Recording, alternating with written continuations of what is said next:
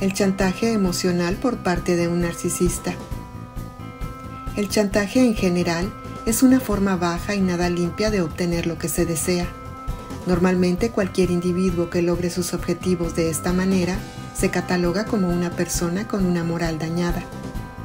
El chantaje emocional es una forma disfuncional de manipulación que el narcisista usa para exigir y amenazar a sus víctimas para obtener lo que ellos quieren.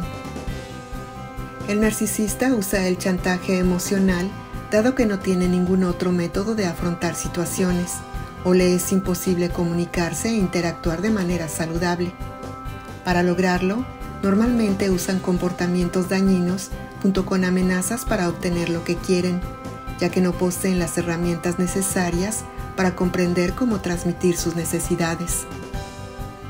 Algunos ejemplos de chantaje emocional narcisista son, si alguna vez dejas de amarme, me mataré.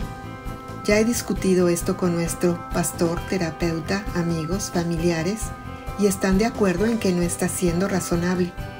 Me voy de vacaciones, contigo o sin ti. ¿Cómo puedes decir que me amas y seguir siendo amigo de ellos? Es increíble que tengas una cama donde dormir y sigas diciendo que no cumplo con mis responsabilidades. Para la víctima, es muy importante tratar de no caer en este juego de poder por parte del narcisista. Necesita estar consciente de que está frente a un chantaje emocional. El trasfondo del chantaje emocional proveniente de un narcisista es, si no haces lo que quiero, cuando lo quiero, sufrirás.